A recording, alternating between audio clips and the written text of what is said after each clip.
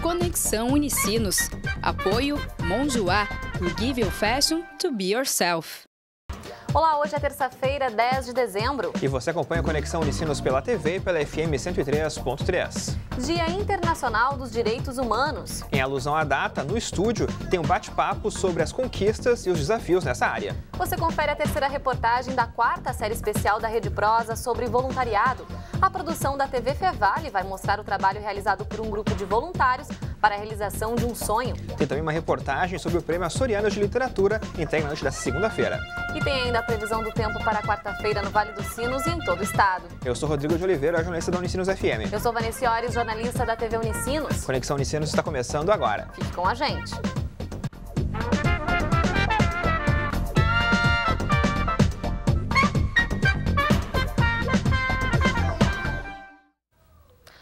Direitos humanos são direitos inerentes a todos os seres humanos, independentemente de raça, sexo, nacionalidade, etnia, idioma, religião ou qualquer outra condição.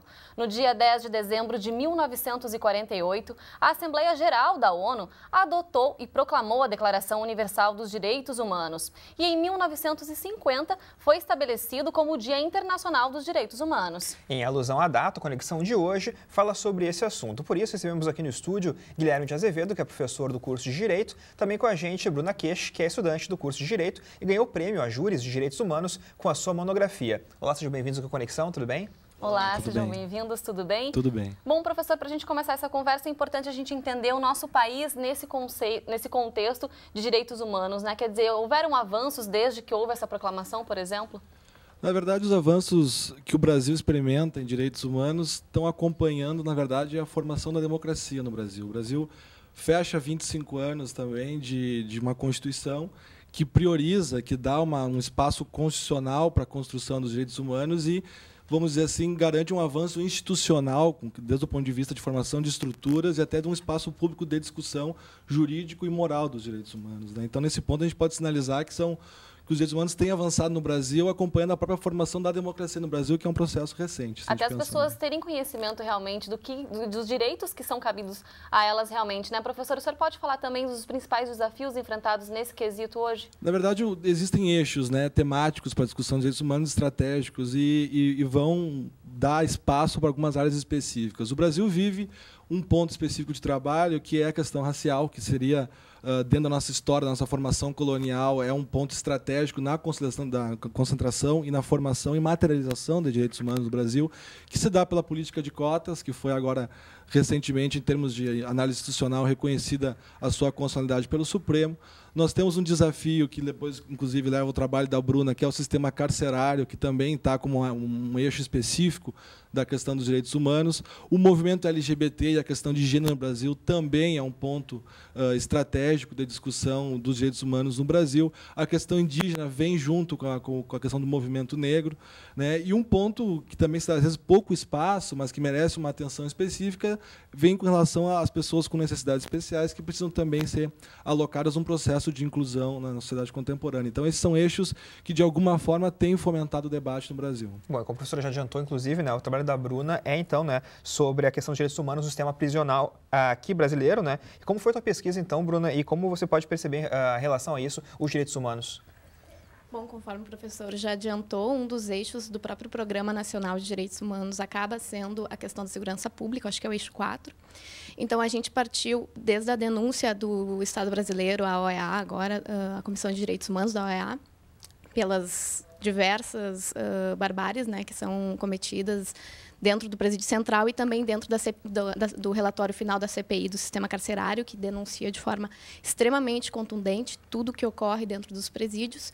A gente partiu, então, de uma análise justamente da, ah, do que ocorre dentro dos presídios e o que nós temos de normativas em relação a isso, chegando à conclusão de que, bom, efetivamente nós temos normativas, nós temos recursos, porque isso é muito pouco falado, nós temos recursos. O próprio ah, ministro Gilmar Mendes concedeu uma entrevista, acho que é a própria Unicinos, essa, essa semana, falando sobre isso. O que se tem é, é pouco investimento e até no caso do estado do Rio Grande do Sul, às vezes ocorre ah, um déficit de, de, de projetos que são enviados ao, ao, governo federal e acaba sendo repassado pouco recurso. O recurso existe, então, só que ele não é aplicado, no caso. A gente pode dizer assim que talvez não exista recurso suficiente, pode ser discutido. Agora, existe, existe recurso que não é aplicado. Então, nós temos hoje um dado de 63% dos recursos que tinham disponível para o Fundo Nacional de, uh, de Segurança Pública que não foram uh, que foi investido, ou seja, nós temos aí 37% que poderia ser revertido não foi por falta de projetos ou falhas nos convênios. Então, a partir disso, eu, uh, se começou a analisar as razões dessa omissão do, do gestor público, que seria coadunada então pelo sentimento da sociedade de de concordância né, com essa situação, para então partir para o estudo do, do, porquê disso. E esse foi o, o, meu trabalho, né? tentar desenvolver estudos a partir da sociologia, da história, das razões culturais de que nós ainda entendemos a pena com características expiatórias e o quanto isso tanto fere direitos humanos uh, numa perspectiva de humanização das penas, como os direitos humanos na perspectiva de liberdade de consciência e de crença. E é uma situação delicada também, né, professor? Como é que o senhor vê, então, a importância do trabalho da Bruna nesse quesito dos direitos humanos, da gente poder também trazer cada vez mais esse debate, também para a população, para as pessoas que muitas vezes acabam encarando aí, como a Bruna estava comentando, né? As pessoas não têm exatamente a consciência do que acontece dentro dos presídios, ou que condições deveriam ser dadas para essas pessoas, para que realmente haja aí a ressocialização, como é dito. O trabalho da Bruna tem um, tem um mérito uh, grande, que é chamar a atenção da responsabilidade que a sociedade civil tem sobre a questão carcerária. Então, ah, de alguma forma, ela, ao buscar esse porquê da, da, dessa indiferença que está materializada no descaso com o sistema carcerário, ela, além de mostrar a responsabilidade da parte executiva, da parte do gestor público, e mostrar muitas vezes os limites que o próprio judiciário tem sobre a questão, ela fez uma pergunta e uma interpretação, portanto, no final do trabalho, de examinar a hipótese de que, de alguma forma, a nossa sociedade civil está concordando com esse sistema uh, absolutamente desumano no, da, da, questão carcerária, por uma possibilidade de trabalho que ela colocou, de uma certa manutenção ainda de que eles estão sendo punidos por estarem naquela condição.